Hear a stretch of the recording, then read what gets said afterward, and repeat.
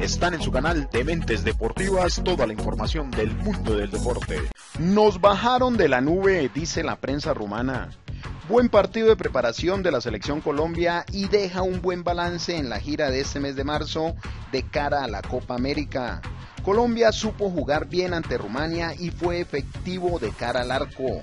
Córdoba abriría el marcador en el minuto 6, John Arias marcaría el 2 por 0 en el 36 y Yasser Asprilla colocaría el tercero de Colombia en el 76. Descontaría Rumania en el minuto 89 por medio de Yanis y Tanesi en el 93 colocaría el 3 por 2 final. El intro de un periódico rumano abre con las siguientes letras, abro comillas. Cuando Colombia apretó el acelerador, a Rumania le temblaron las rodillas.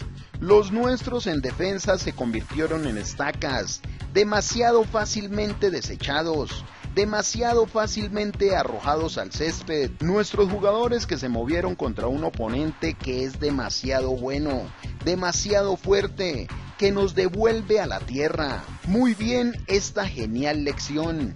Llega a tiempo. Colombia tocaba al ritmo del reggaetón. Rumania sin voz.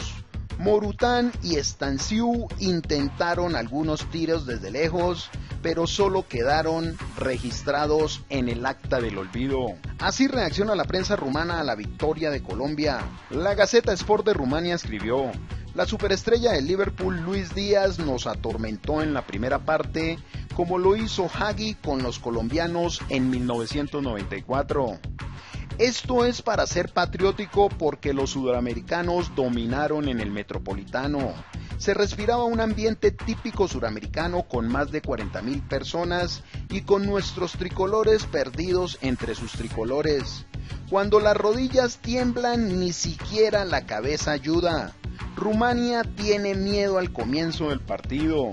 Hay minutos en los que siendo realistas deberíamos vernos las narices largas y tranquilas con ese optimismo de que pasemos del grupo en la Eurocopa, de que seamos favoritos en la segunda plaza y de que rompamos las nubes y nos bajemos. Bajo la presión del oponente y de la grada, los nuestros parecen compañeros de entrenamiento ante una Colombia del otro mundo. El diario Pro Sport de Rumania escribió, nos hicieron pagar un plomo, Luis Díaz y James Rodríguez derrotan a los nuestros.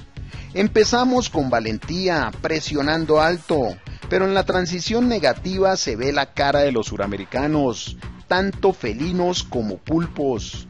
Dragusín apenas puede despejar, se nota la calidad individual de los colombianos, tienen técnica eficiente, fuerza explosiva, Ah, y nosotros jugamos pero con sacrificio, con sufrimiento.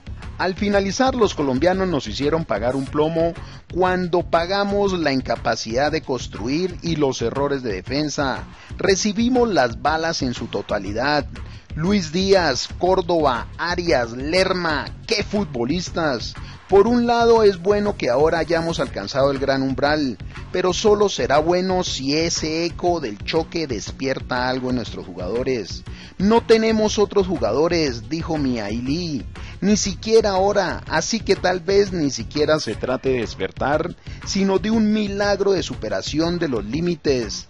Lo vi en Madrid y Colombia fue una planadora. El diario Hot News escribió, Rumania derrotada por Colombia en el test más importante antes de la Eurocopa 2024.